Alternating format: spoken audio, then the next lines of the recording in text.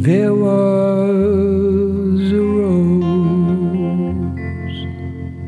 At least that's how the story goes. A time when I was yours and you were mine.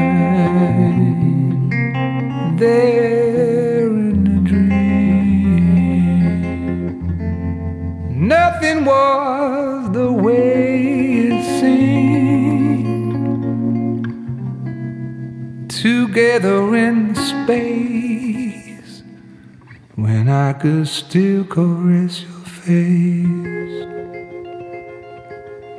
I'll never smell your skin.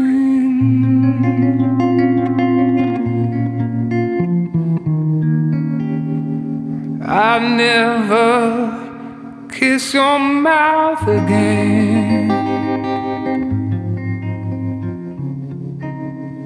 I cannot hold you anymore. So am I next to close the door?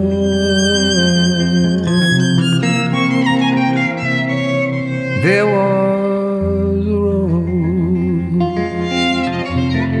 big and fragrant as it goes,